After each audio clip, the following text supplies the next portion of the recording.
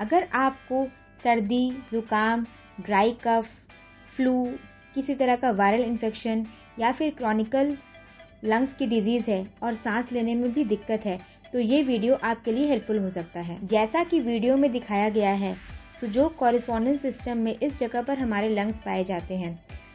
इसके दोनों तरफ़ राइट लंग्स और लेफ़्ट लंग्स में हमें पेनफुल पॉइंट्स को ढूंढना है।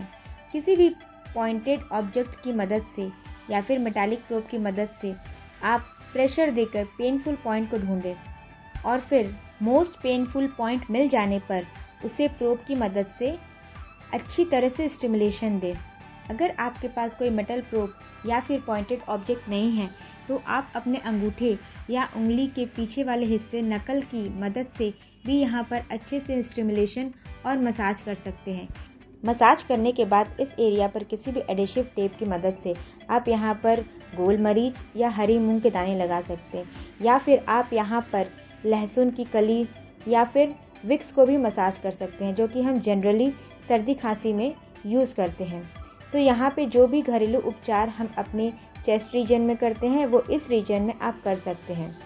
और इससे आपको लंग से जुड़ी किसी भी परेशानी में बहुत सहायता मिलेगी। Well thanks for watching